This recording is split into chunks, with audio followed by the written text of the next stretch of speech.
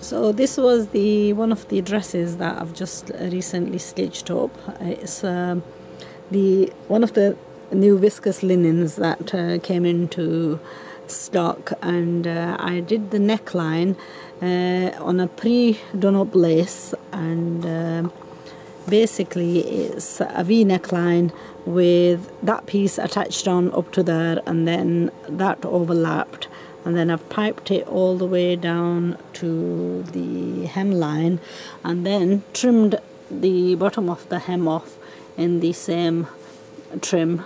Now the bazoo you probably see them as churidar uh, these are churidar bazoo very very long uh, almost long as the kameez.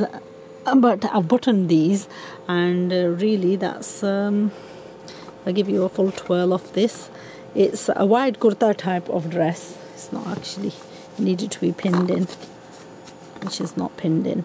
Um, so that's one of the dresses that I've just done today.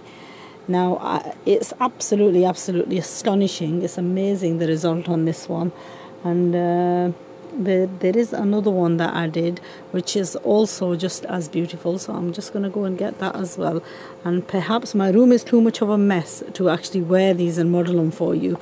But perhaps once I've tidied uh, the room up a little bit I will uh, wear them and show show them to you what they look like.